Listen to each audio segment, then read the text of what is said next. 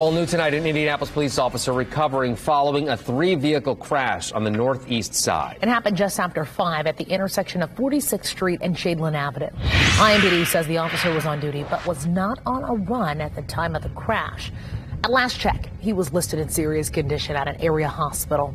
IMPD says the crash is a reminder to be aware of your surroundings when you're out on the road.